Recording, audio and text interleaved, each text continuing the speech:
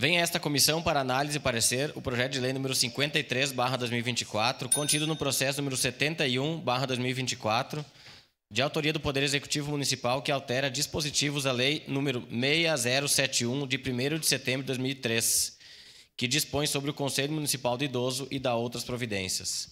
A exposição de motivos destaca que o projeto visa substituir as expressões idoso e idosos pelas expressões pessoa idosa e pessoas idosas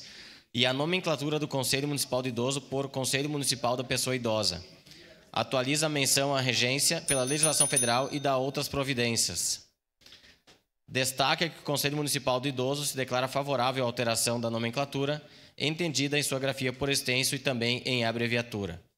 A expressão pessoa idosa traz um olhar mais amplo à população com mais de 60 anos, pois se direciona não somente à faixa etária e a vulnerabilidades decorrentes do processo de envelhecimento, mas também aos cuidados que demandam a condição da pessoa humana. Estando a proposição amparada pelo regimento interno desta Casa Legislativa e tendo em vista o parecer de constitucionalidade exarado pela Comissão de Constituição, Justiça e Legislação, esta Comissão de Idoso, por seus integrantes, manifesta-se de forma favorável ao projeto de lei e vem assinado pelos membros da comissão, senhora presidente.